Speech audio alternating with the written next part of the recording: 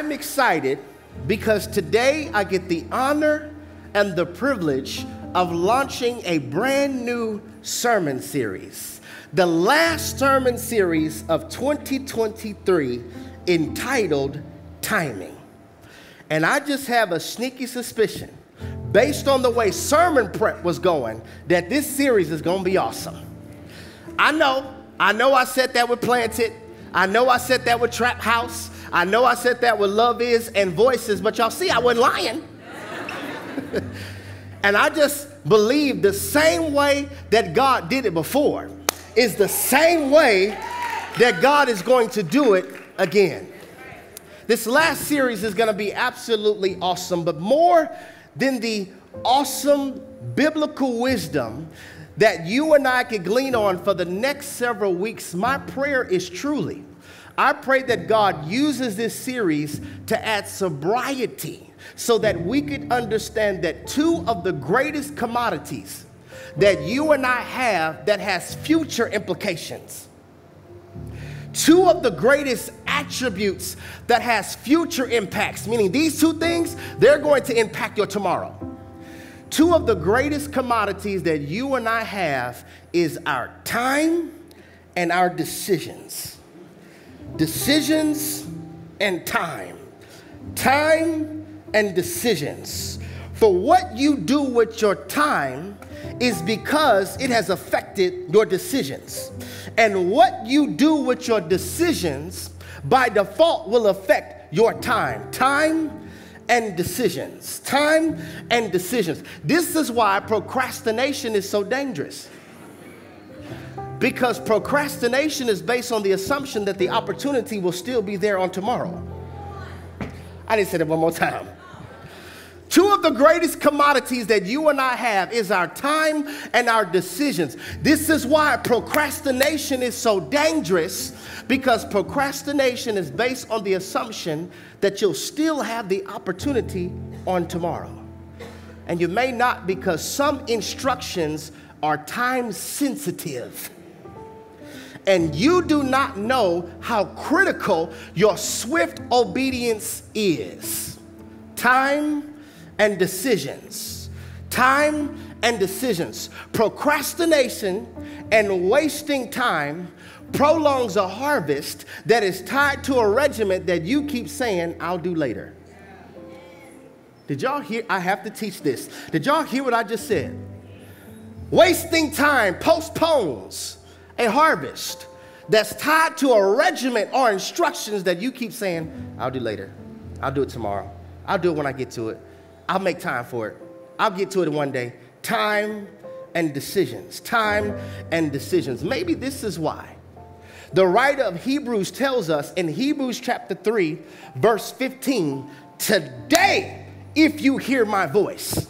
Somebody say today. today. It doesn't say next week, it doesn't say when you feel like it. It doesn't say when I feel as though the breakup will be easier. It doesn't say January 1st of 2024. It says today, right now, if you hear my voice, harden not your heart the way you did in rebellion. Somebody say time. time. Now say decisions. decisions. Time and decisions is so critical that depending on what you decide to do in your lifetime will affect your afterlife placement. Whatever you decide to do in your lifetime will affect your afterlife placement. I want to speak around this thought from this subject for a few moments for part one of our brand new sermon series. It's about time. It's about time. It's about time. Could you find two people? This is the last time I'm gonna have you do it. Could you find two people and tell them it's about time? It's about time. It's ooh, some of y'all don't even recognize that you are being prophetic. God is like, okay, I just used you because I've been trying to get them to get that too. It's about time.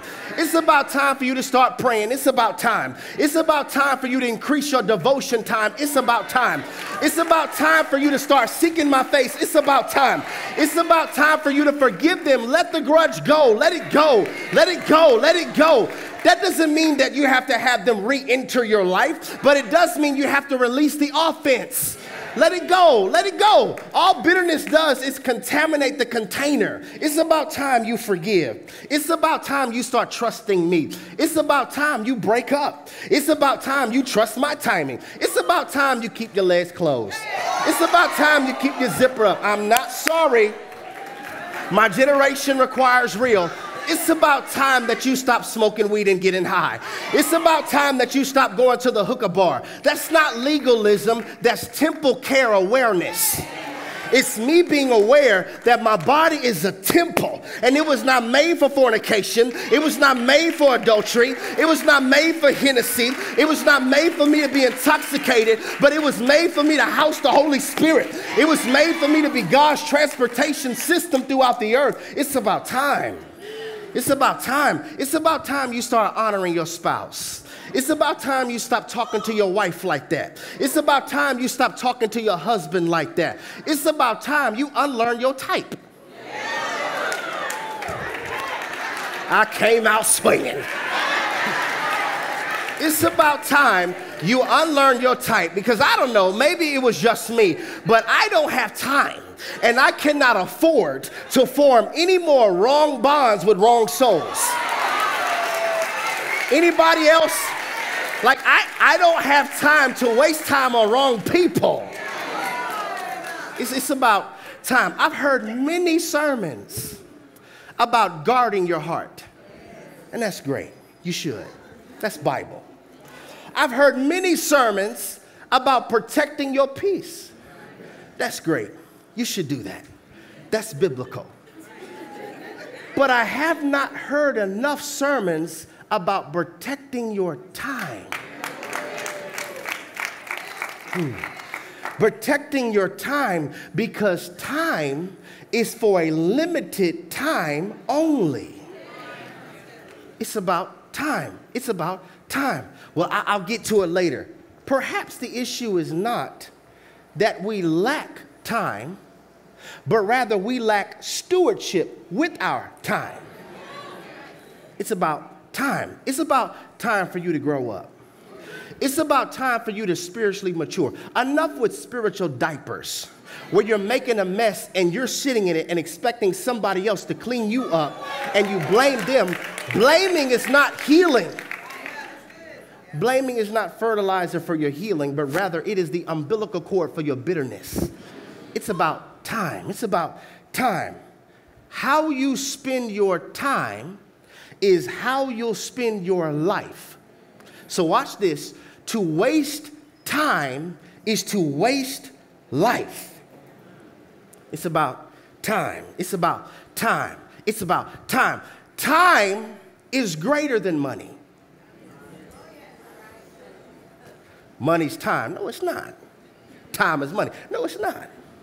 You can make more money, but you can't make more time. Can I keep going? Time is currency. This is why you have to be careful what you're paying attention to. Because whatever has your focus, you are paying. Gosh, I hope y'all get this. Whatever has your focus, you are paying. You are paying with your time. And see, I'm like, okay, for the love of God, if you're going to focus on something and pay for it, at least focus on something that pays you back. Is it just me? Like, at least focus on something that pays you back with wisdom, that pays you back with peace that pays you back with joy. I know that your Netflix subscription, your Hulu, whatever it may be, is $19.99 a month. But there's another charge in there that's a hidden fee that you don't see. It's the cost of your time. Time, time. Time is currency. It's not expensive, it's priceless. Did y'all hear what I just said? It's not just expensive, it is priceless. Time, time. Can I help us? Y'all didn't say nothing. Left side, can I help us? Okay, see, we, we have to remember because many of us are frustrated with God because we feel as though He's taking His time. But we forgot that God created time but doesn't live in it. it hit you, I know. God created time, put man in time, but he doesn't live in time, he lives in eternity. So God looks at our life and sees the beginning and the end already.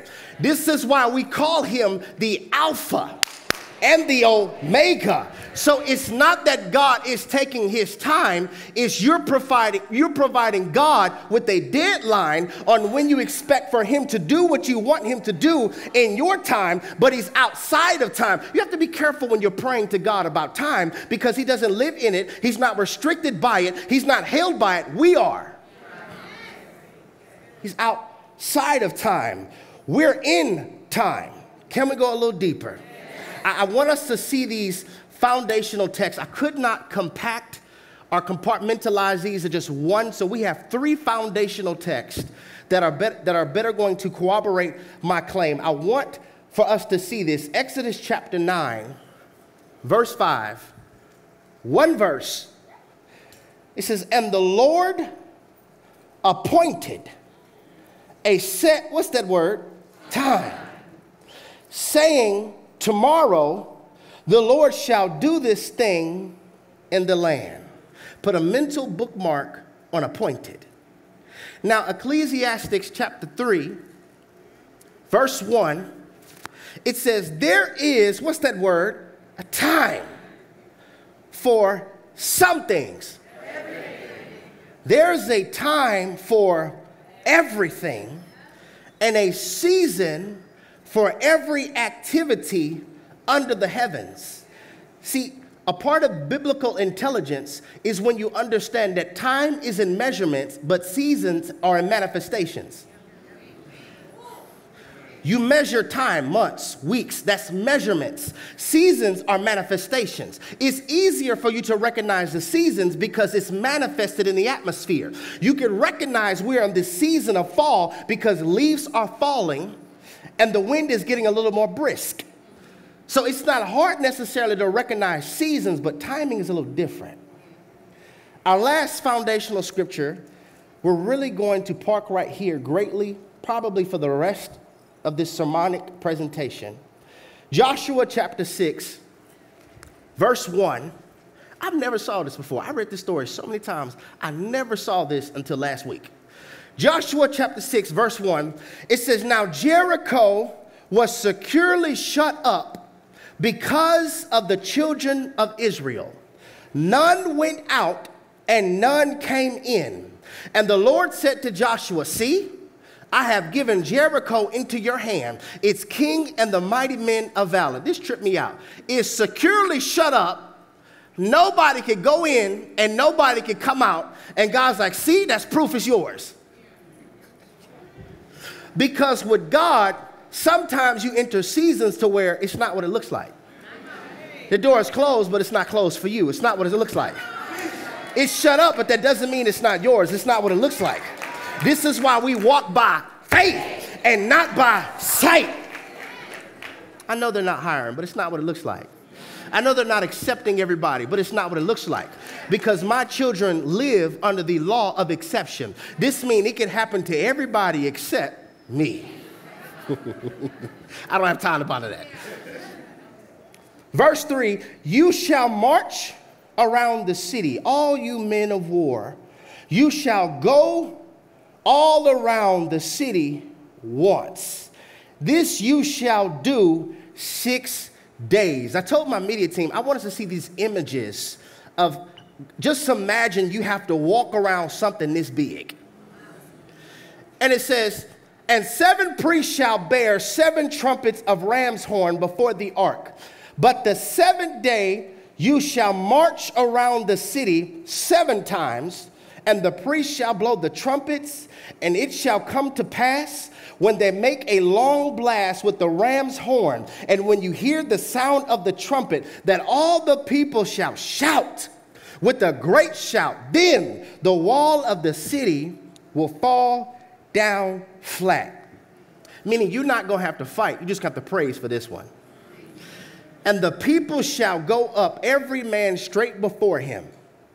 Then Joshua the son of Nun called the priests and said to them, Take up the ark of the covenant, and let seven priests bear seven trumpets of ram's horn before the ark of the Lord. He said to the people, Proceed and march around the city, and let him who is armed advance before the ark of the Lord. So it was, when Joshua had spoken to the people, that the seven priests bearing the seven trumpets of ram's horn before the Lord advanced and blew the trumpets, and the ark of the covenant of the Lord followed them. The armed men went before the priest who blew the trumpets, and the rear guard after the ark, while the priest continued blowing the trumpets. Now Joshua commanded the people, saying, You shall not, or you shall not shout or make any noise with your voice. Somebody say, shut up. Shut up. Okay. Nor shall a word proceed out of your mouth until the day I say to you, shout, then you shall shout. Our verses of emphasis, the segments of scripture that I would like to bring to your attention and your awareness begins at the beginning of verse 5 in Exodus chapter 9, where the text tells us the Lord appointed a set time. The Lord appointed a set time. Appointed, appointed, a point. Hmm. The root word in appoint is point. So the Lord has a point in your life that has been set for you to meet.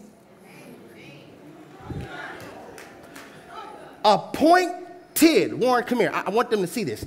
It's God saying there's a point that I have already set. Just hold up the clock for it. Come up here, you can get into the light. So God is saying, I have already set a point for you to meet. Now, here's the part that we don't like to think about because everybody always says it's the timing of God. It's the timing of God. It's the time. Okay, that's not totally incorrect, but it is incomplete. This is the point that God has appointed for you, or let's say it like this two o'clock is your appointment. But what you do at six o'clock, okay, we're going to lose all the amens because we want to put the timing all on God. Okay. You could make decisions at six that cause you to live here 40 years. Let me give you Bible. Y'all can see this. Okay. Ecclesiastes 7, verse 17. Let's put this on the screen so y'all can see this. Ecclesiastes 7, verse 17. It says, Do not be overly wicked and do not be a fool. Why die before your time? Okay, so watch this. Why die before your point? Are you getting this?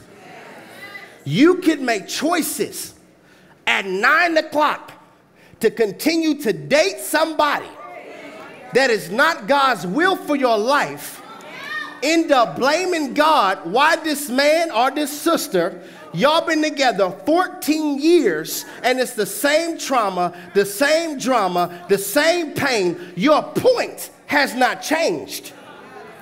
It's just you haven't. Is this making sense? So it's not that we delay the timing of God. Stop preaching that. It's not Bible. It's that we are disobedient to God to where we make our trip that was supposed to be 11 days to the promised land, we make it 40 years. Is this making sense? Can I go a little deeper? For anybody who feels like they're waiting, could it be because you are literally doing nothing at each point? So at each point, since you're doing nothing, the weight feels more weighty. But if you were to maximize the use of your time, As you're maximizing the use of your time, you will collide with your point. Is this making sense? All right. So if there is a such thing as a appointed time, that must mean by default that there's a such thing as being premature. Okay? If there's a such thing as an appointed time, that must mean there's a such thing as you not being ready or they're not being ready. Because there's a difference between getting ready and being ready. Can we talk? Your arms good? Can we talk? okay. Getting ready and being ready are not the same. When you are ready, if you give birth right now to what God put on the inside of you, your baby will live. Because you are ready. If you're getting ready, if you give birth to what God put on the inside of you right now, it will die. Because it's underdeveloped or premature. See, the knowledge of trimesters is for us to be aware of timing and development. Conception to 12 weeks, that's first trimester. 13 weeks to 27 weeks, that's the second trimester. 28 weeks to 40 weeks, that's the third trimester. Why do you have that information? So you could know where you are during this development process.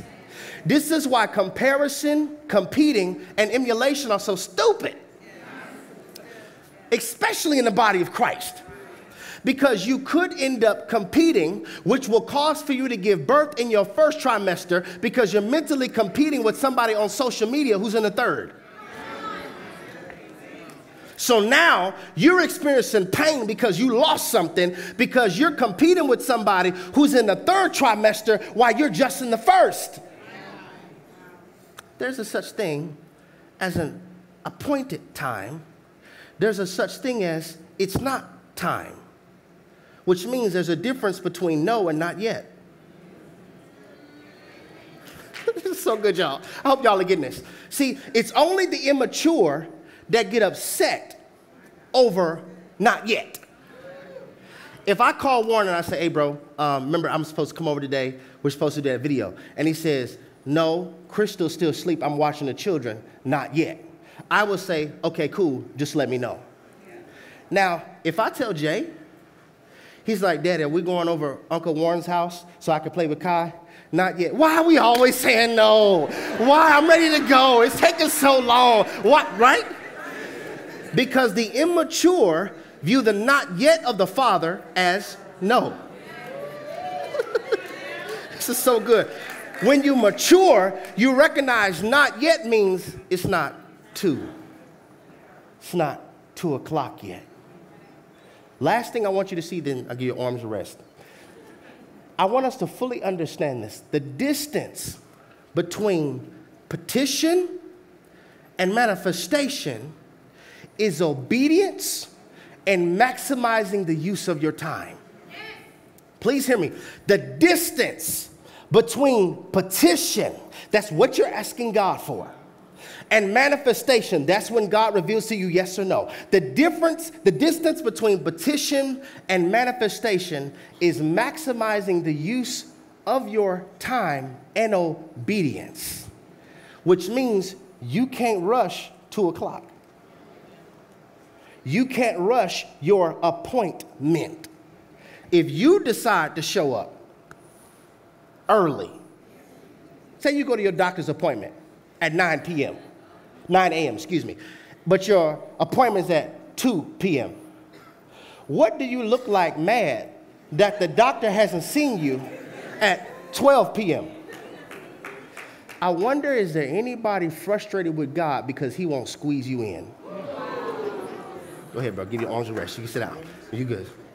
I wonder is there anybody upset with God because he won't squeeze you in before your appointed time. But truthfully, if they try to squeeze you in, they throw all the other appointments off. So your appointment is not just so that you can meet your point, it's also so that everybody else can meet theirs. This is why your obedience matters because your obedience is tied to a point. And there's some people who are supposed to meet you at a point. But if you're still in rebellion at that point, they're not going to be able to glean from you what they're supposed to glean from you if you got that wisdom when you met that point. That's the first verse that I want to bring to your attention. See, this is the power of exegesis. I don't need to preach 20 different verses, just break down one. The writer of Ecclesiastes complements this when he says there is a time for everything and a season for everything under the sun. And then Joshua chapter 6, this is the part that blew my mind. I never saw this. Verse 3, I want us to see this. Verse 3, Joshua chapter 6, verse 3. This low key messed me up. Y'all probably not gonna see it until I break it down. Verse 3, it says, You shall march around the city, all you men of war. You shall go around all the city. This you shall do four days. My. That's what the Bible says.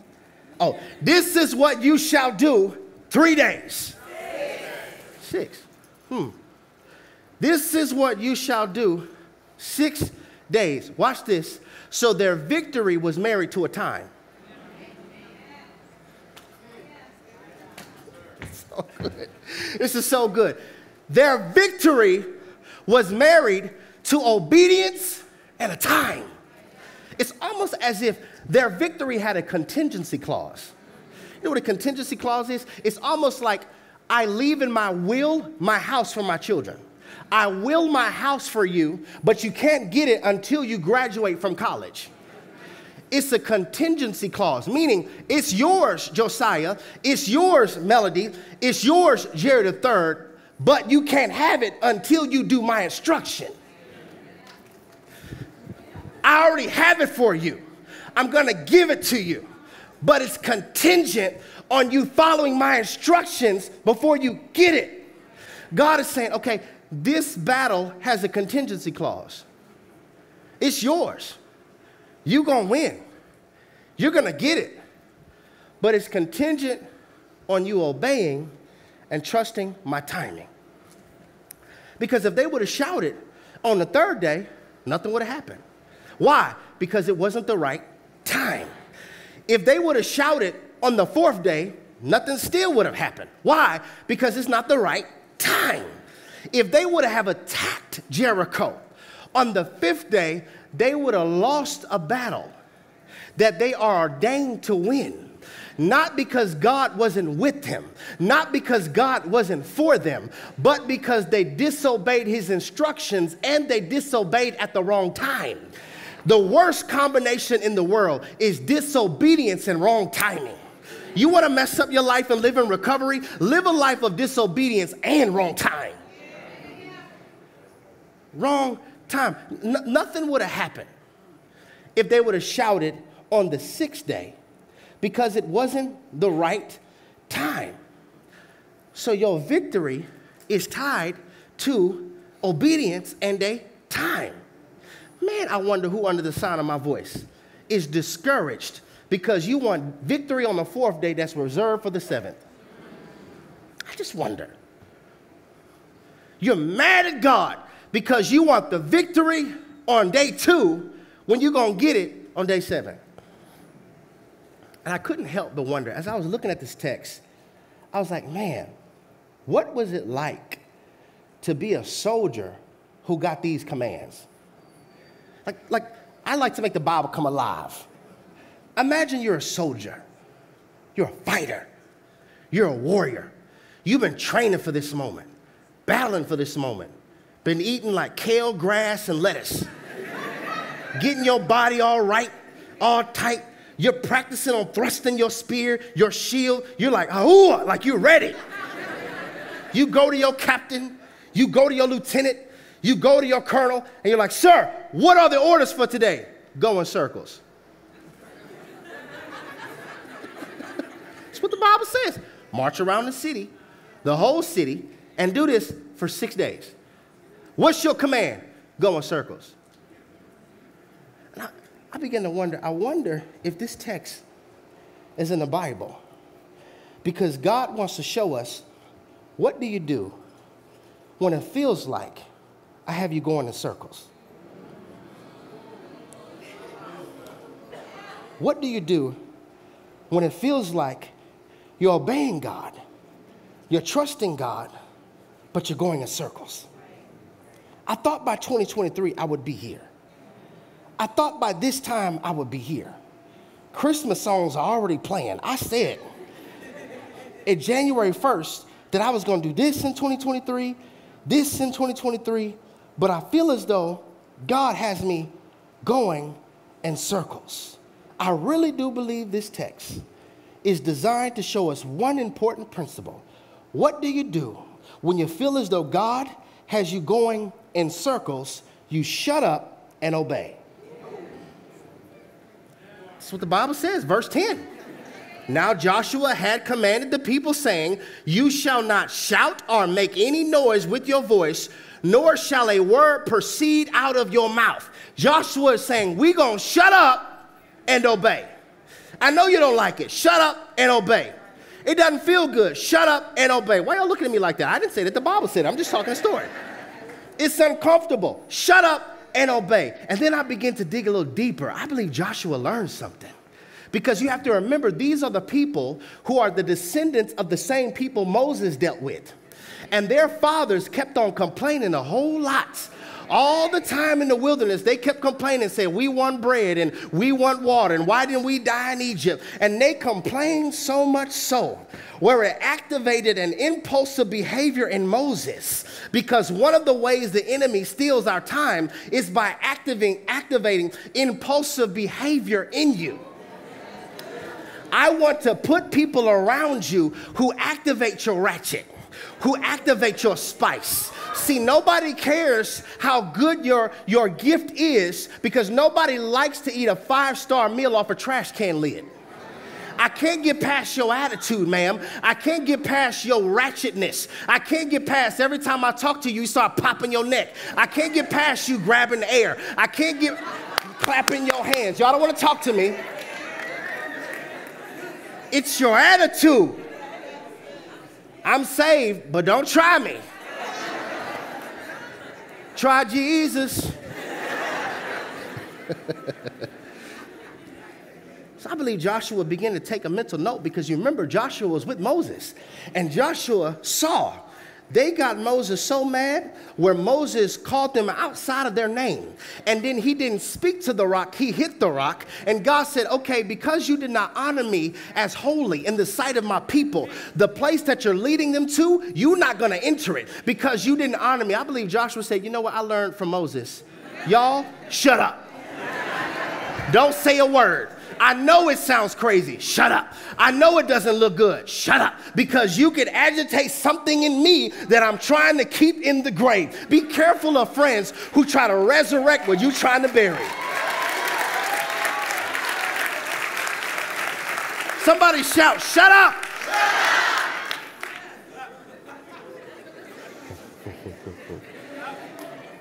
you, you shut up and you obey. you shut up and you obey. Joshua remembered, hmm, out of the abundance of the heart, the mouth speaks. So, in other words, the tongue is the paintbrush of the heart. The tongue is the paintbrush of the heart. So, here's the quintessential question Who's painting on you? Who's painting on your perspective in conversation form? Who's painting on your faith in conversation form? Because out of the abundance of the heart, the mouth speaks, and the tongue is the paintbrush of the heart. No wonder God had us in voices for 14 weeks because God was trying to get us to understand a lot of paintbrushes aren't painting what I'm telling them to paint. And you be careful with allowing people to paint on the canvas of your mind because they will give you a distorted picture. So here's the cheat code. Here's the cheat code. Everybody has a paintbrush, but you don't have to be a canvas for everybody's paint. This is so good, y'all. Everybody has a tongue. Everybody has a mouth. Joshua learned, I'm not going to listen to the comment section. I'm going to put my comments on mute. This is way back in Bible times. We still see the power of mutant comments. I need to turn off the comment section because God is telling me to do something that seems a little crazy. And I already feel as though it's crazy, but I don't need you to tell me that I look crazy because I already feel like I'm crazy. I'm going to tell all y'all be quiet. So good, y'all. So now, as I'm looking at this, I'm like, I get it. I get it. The devil deceives through discussions because he wants to contaminate decisions. He wants to intoxicate the sobriety of our decision making. Why? Because he wants to steal your time. It's about time. That's what it's about. It's about time. It's about time. It's about time. Why else does the enemy send you distractions? Because he wants you to waste your time on the distraction. Because whatever you focus on, you're paying with your time. It's about time. It's about time. It's about time. The devil never hits what he wants. Please hear me. He never hits what he wants. If he hits your car, it's not because he wants it, he can't drive. if he hits your marriage, it's not because he wants your spouse. Sometimes they get on his nerves too. If he hits your job, it's not because he wants to work there. He's doing all of that to see does all of those things have your faith? So if I hit your transportation, if I hit your relationships, if I hit your money, will that take your faith? He never hits what he wants. He sends distractions because he wants you to waste time. It's about time. It's about time. He sends traps dressed up as opportunities because he hopes that you view that as a promotion from God versus a satanic trap because he's trying to get you to waste time. He has things that sometimes speak doctrine, but then other times speak heresy. Why? To confuse you. Because confusion is a time waster. This is so powerful, y'all. It's all about time. Time. I want them to waste their time. If I can get them distracted in time, they'll never be a threat to me while they're in time. So I'm gonna try to get them to waste their time. It's the, it's the opposite for the kingdom. Why does God give us wisdom? to protect your time. Why does God give us instruction? So that we can steward our time. Why does God give all of us a purpose? So that we can be fruitful with our time. Are y'all getting this? It's all about timing. I want us to see this text in Acts chapter 1, verse 7. Acts chapter 1, verse 7 when the disciples rode upon Jesus and like, okay, good. You the Lord, you resurrected from the grave. Okay, great. Are you about to restore the kingdom now? Look at what Jesus tells them. He said to them, It is not for you to know the times or the dates that the Father has set. I love when the Bible compliments. Okay. It's like, it's not for you to know what time the Father has set by His authority. All you have to do is obey and maximize the use of your time until you run into your point. Every season of your life has a different point, meaning a different appointment. There were people that I was supposed to meet this year. That was a point. There are people you're supposed to meet next year. That's the point. If you waste time, you missed your points. And if you missed your point, eventually you will go to the grave never making a point. This is so good, y'all. you are designed to leave an imprint on the earth. Why are you here? Why do you think everybody's fingerprint is different? so that when you leave the earth, you left a imprint on time while you were in it. So that when you go back for, to the Father and He asks you, What did you do with the time I gave you? You could say, I stewarded the time well and I surrendered my life to the gospel and I won souls with my time. I broke this down even further where we can see how fragile time is. There are 8,760 hours in one year. 8,760 hours in one year. Somebody say time. time. Now, the average life expectancy in America, here in America, is 77 years old. That's just the average lifespan. So I did a little math. The average lifespan in America is 77 years old. That means that is 674,520 hours. Okay? So that's just a rough means of the average lifespan. You got 674,520 hours. If you're 30 years old right now, you've already used 200, 262,800 of those hours. Okay? I want you to see how life is like a vapor. I'm still young. Okay, bet. You 25. All right. You've already used 219,000 of those hours. If you're 50, you somebody said, "Oh gosh." if you're 50, you've already used 438,000 of those hours. All of that math to simply tell you this wasted time equals wasted life.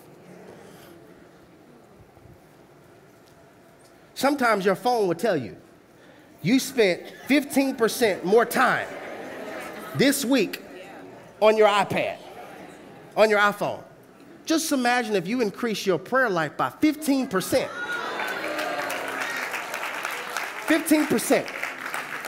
You come here, service starts at 12, we're usually done about 1.30. That's 5% of your day. 5% of your day can make a 100% difference in your life. I'm trying to get us to view every show, every person, every relationship, every conversation, every scroll as a payment. That's what I'm trying to. Nothing is wrong with watching TV if during the day you paid attention to stuff that paid you back. But we are entertaining ourselves to death and we're wasting time to where we end up feeling like, what's the point? And God's like, you're not maximizing your time and obedience to get to the points that I have for you. There's an appointment for you in every season of your life. Every season of your life, there is an appointment.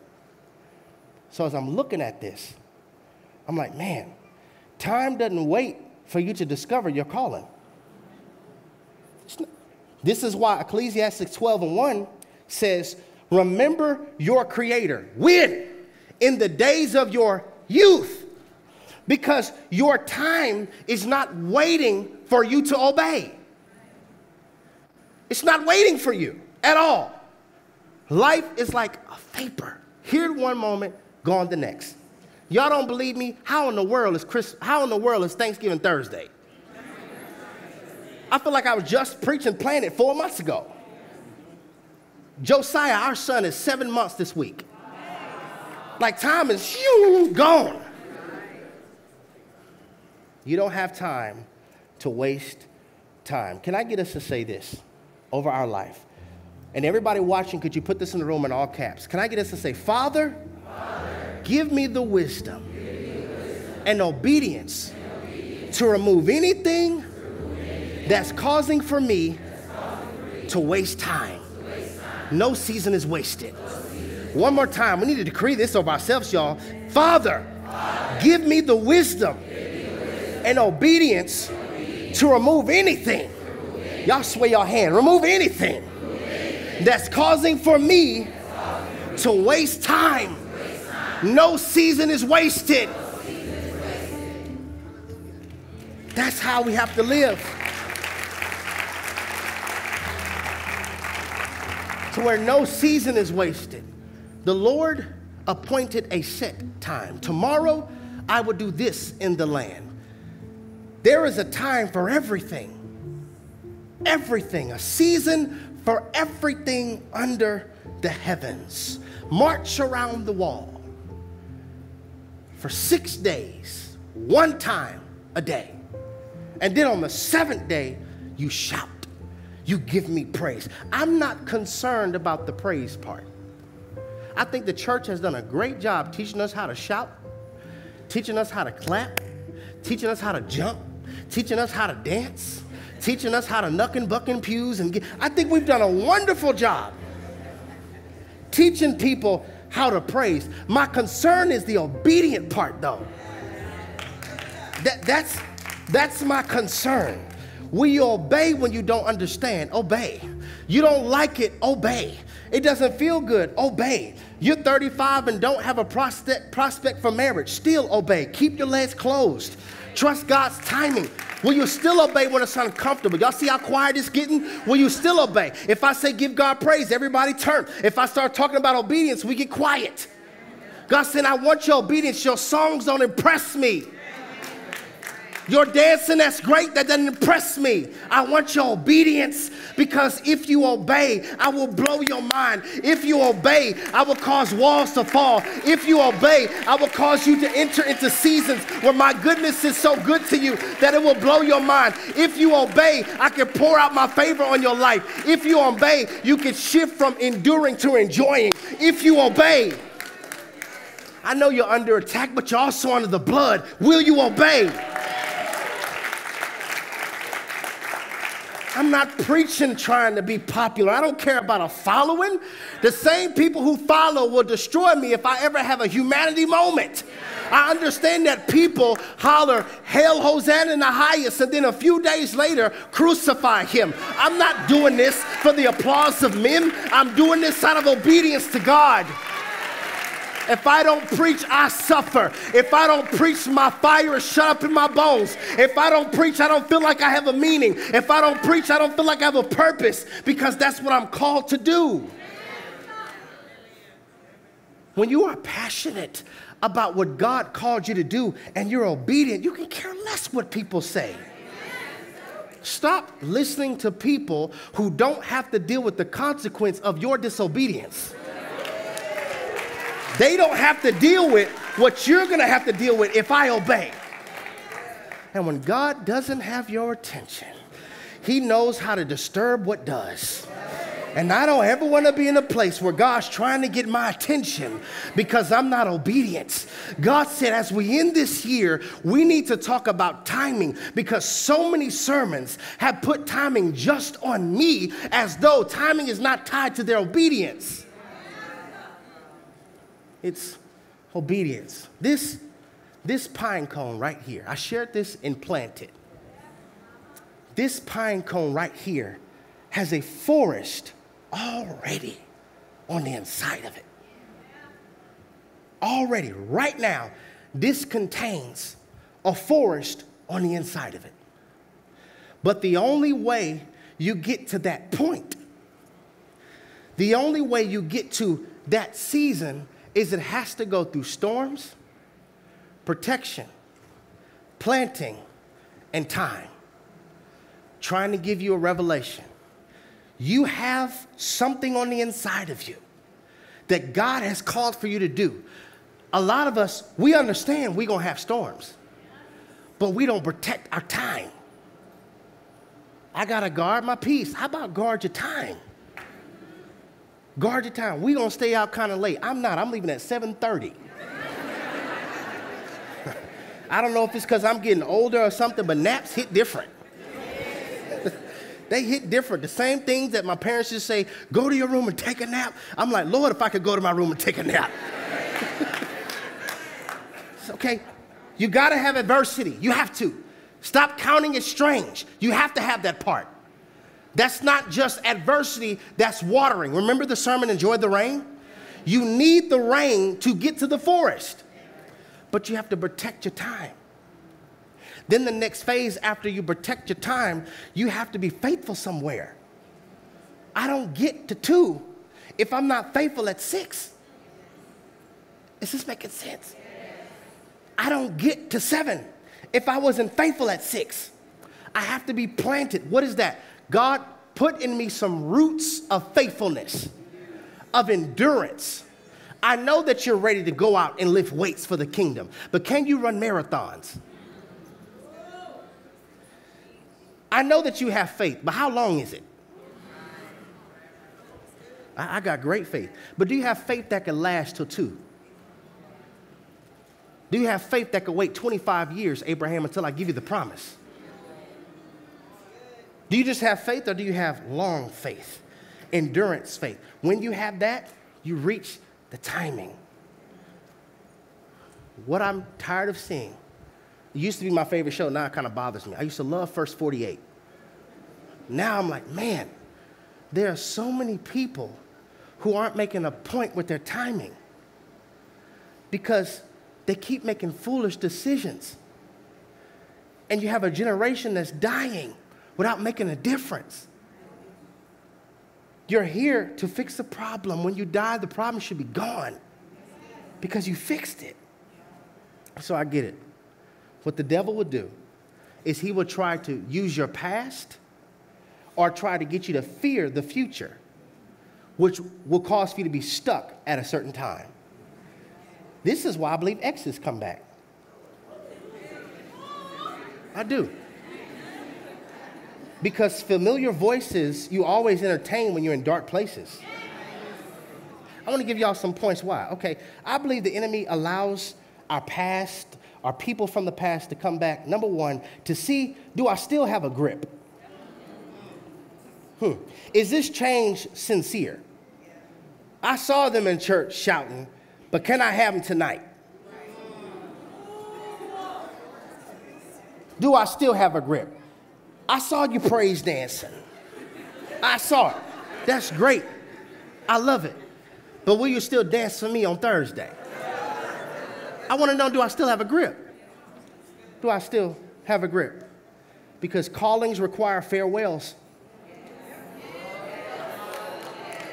Callings require farewells. But I want to see do I still have a grip? Number two, do I still have access? It's one thing when you delete the text thread, it's another thing when you block the contact. Okay? It's a greater thing when you get a different number. What do I have to do? Sometimes I got to take some extreme measures, hear me, to make sure that still doesn't have access. That's not mean. That's protecting my time. Number three, I believe sometimes he allows things to come, to the, come back from the past because you're close to something. You're close to two. you're close to two, and I want you to leave before your appointment. You're close to something. God sense and counterfeits come in the same season same season, at the same time. Adam, serpent, same season. Baal, Elijah, same season. Jesus, Herod, same season. They come at the same time. Number four, I, I want to see do um, I limit access? because some people come in your life will actually limit access from you getting to the next level. You ever been with somebody, don't raise your hand, you ever been with somebody who tries to control what you do? Where you going? Who, who you with? Why they there? Who going? What time? Limited access. You don't have to control what loves you. Hmm. That's a whole word. Number five, why do things come back? Because it misses you and your services it misses you and your service. Why? Because point number six, you gave them life. Only Jesus could do that. Oh, break it down a little more. Parasites get life off of host. I'm trying. I'm trying. Leeches live off of host. And sometimes they come back because I was living off of you. Hmm. Joshua chapter 5, verse 2. We'll end with these few points, and y'all can have a happy Thanksgiving. yeah, protect your time. Uh, Joshua chapter 5, verse 2. I saw something that was so interesting. Remember, the walls of Jericho came down in Joshua chapter 6.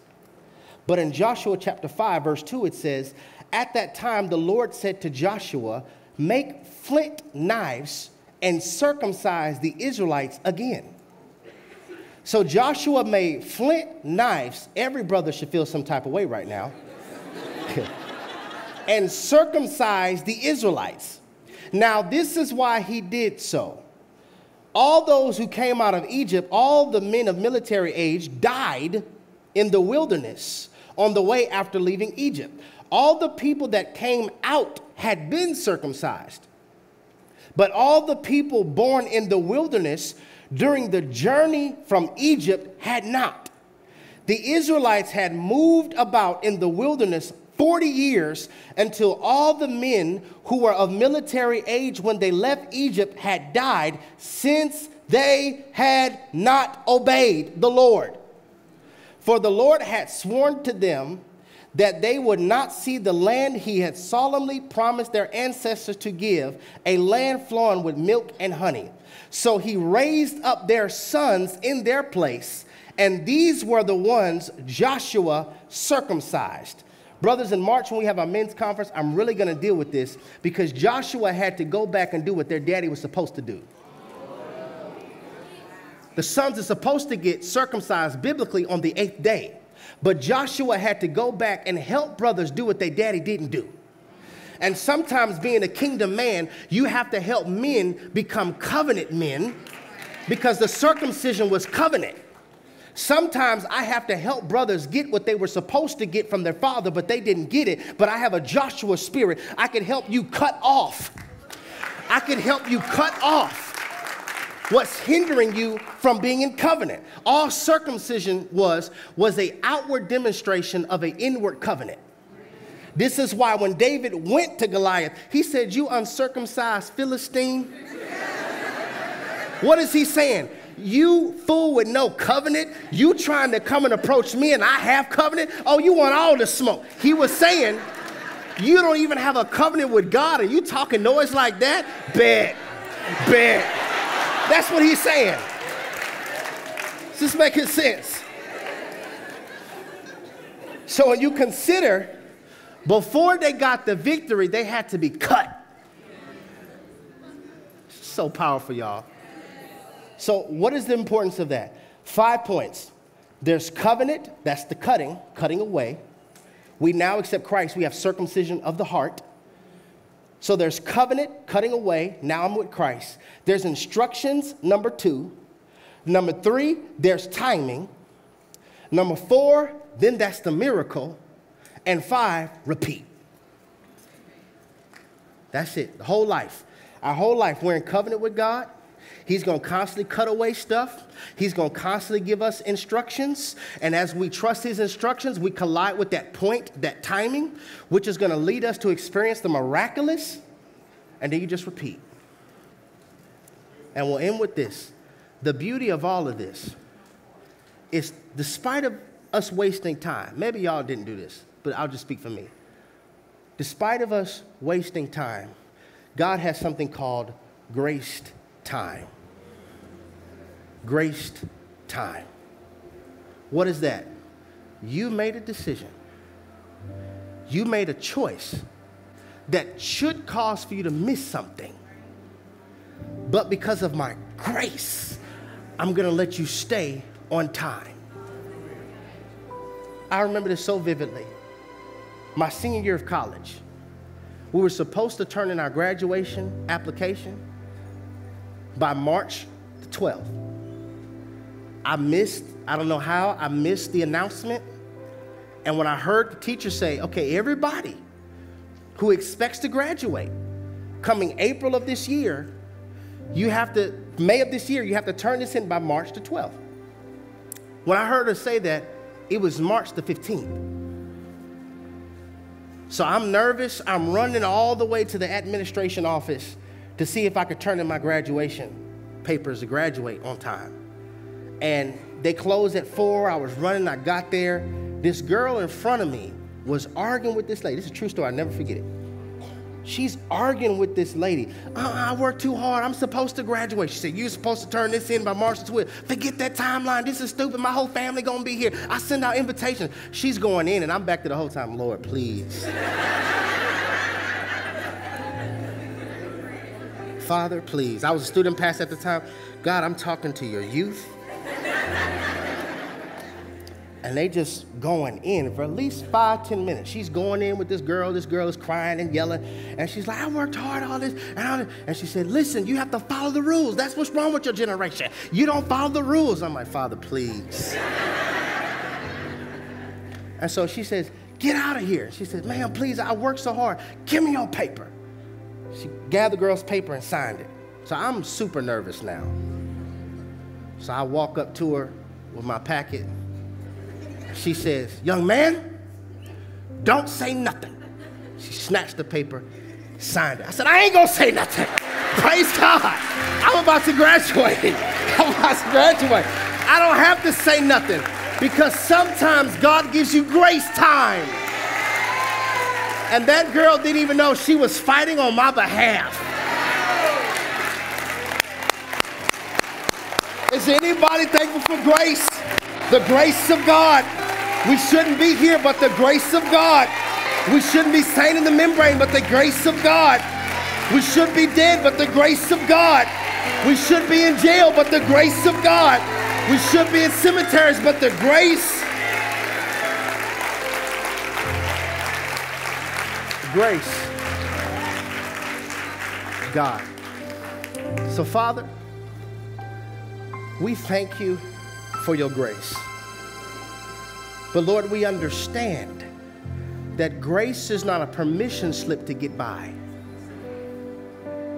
Now that we've heard this word, we are held accountable. Help us to be protectors of our time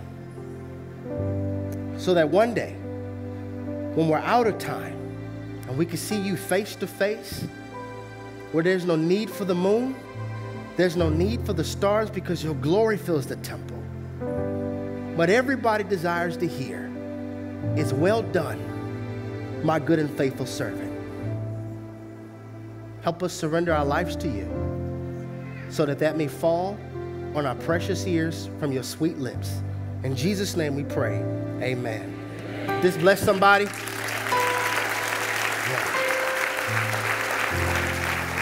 So I just want to do uh, two appeals real quick, and then Fred, whatever you have to say, you can come and say it.